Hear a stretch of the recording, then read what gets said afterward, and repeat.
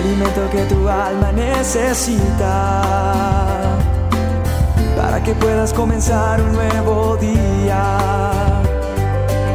Es el momento de abrir nuestra mente y corazón para que juntos comencemos a vivir en bendición, en oración y en victoria me levanto hoy con reflexión, meditación, con la palabra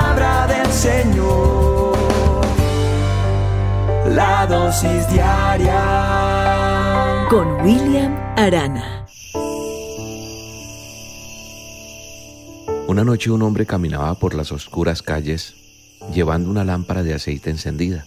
Esta ciudad era muy oscura, especialmente en las noches sin luna. Y en determinado momento se cruzó contra una persona. Esta persona lo miró, lo reconoció y se da cuenta que es el ciego del pueblo. Y entonces le dice, ¿qué haces con una lámpara encendida? Si tú no ves. Entonces el ciego le responde, no llevo la lámpara para ver mi camino. Conozco las calles de memoria. Llevo la luz, esta lámpara, para que otros encuentren su camino cuando me vean a mí. No solo es importante la luz para mí, sino también para que otros puedan servirse de ella. ¿No sabes que alumbrando a otros también me beneficio yo? Pues evito que me lastimen aquellos que no podrán verme en la oscuridad. Y aquí como siempre hay escondido un tesoro, una lección que aprender con esta historia. Porque cada uno de nosotros puede alumbrar el camino para ser visto por otros, aunque uno aparentemente no necesite esa luz. Aquí la luz de la que quiero hablar es la luz que Jesús puso en nuestra vida cuando nosotros nos hemos acercado a Él. Cuando tú me dices, desde que escucho las dosis he cambiado, mi vida es otra, porque es que entra Cristo dentro de nuestro corazón, dentro de nuestra vida, y cuando entra en nuestra vida, brillamos, dejamos de estar en la oscuridad para entrar en la luz de Cristo.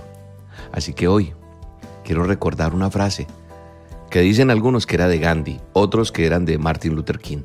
La frase dice, no me asusta la maldad de los malos, me aterroriza la indiferencia de los buenos, la inoperancia de los que saben el bien. Esa es peor que la maldad de los malos. La oscuridad puede ser muy densa, pero enciendes un fósforo y las tinieblas se disipan. Por lo tanto, la luz que somos nosotros no puede quedar oculta. Así que tú y yo tenemos que encender esa luz en los demás. Y eso es lo que hago cada mañana, enviándote una dosis. Cada día ponemos dentro del ministerio un mensaje en nuestro canal de YouTube. Cada domingo, cada solas, encendiendo esa luz. Y siempre les digo a ustedes, repliquen esto, escúchenla, aplíquenla y replíquenla porque tenemos que ser luz. Porque si más personas conocen de Dios, entonces encendiendo esa luz habrá menos gente indiferente, menos gente que tiene el mal por dentro, saldrán de esa oscuridad.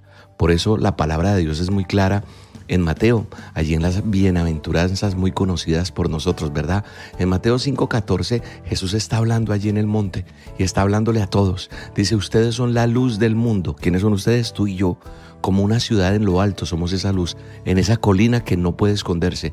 Nadie enciende una lámpara y luego la pone debajo de una canasta. En cambio la coloca en un lugar alto, donde ilumina a todos los que están en esa casa. De la misma manera, dejen que sus buenas acciones brillen a la vista de todos, para que todos alaben a su Padre Celestial.